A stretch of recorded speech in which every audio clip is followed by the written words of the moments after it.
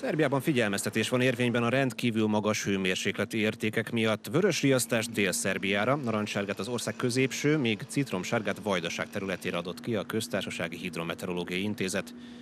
Míg a hőmérséklet csütörtökön 31 és 34 fok között alakult, addig pénteken és szombaton 35 fok fölé is szökkenhet a hőmérő higanyszála. A nagyon meleg idő megterheli szervezetünket, mindenki másképpen védekezik a hőhullám idején. Strandolás, fagyizás és a hűvösre húzódás is a lehetséges módszere a kánikula átvészelésének.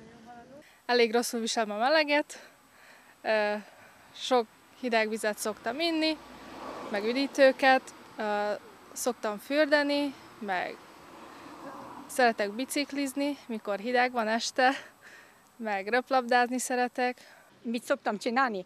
Tusolni. Kint van tusoló, és akkor ott úgyhogy nagyon bírom a meleget. Hát elég jó elviseljük. És hogyan szoktak felfrissülni? Bent a hűvös klíma mellett. De vajon mikor jön a felfrissülés? A legtöbb embert a kánikula idején ez a kérdés foglalkoztatja. A 35 fok feletti csúcsok egészen vasárnapig kitartanak, ekkor csapadékosabbra fordul az időjárás, számottevő lehűlés ugyan nem lesz, de valamelyest enyhül a trópusi hőség. Szombat, illetve vasárnap várható hevesebb zivatar tevékenység, inkább a délutáni vagy a késő esti órákra.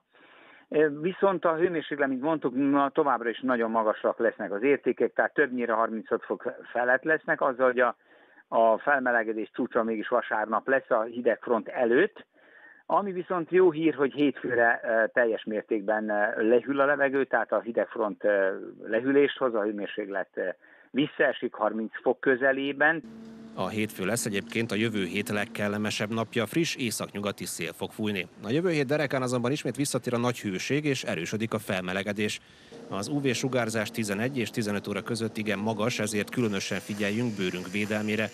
Ha mégis napra kényszerülünk, akkor mindig legyen nálunk víz és fejvédő, és ha esetleg a kis kedvenceink is velünk tartanak, akkor figyeljünk arra, hogy az árnyékban sétáltassuk őket.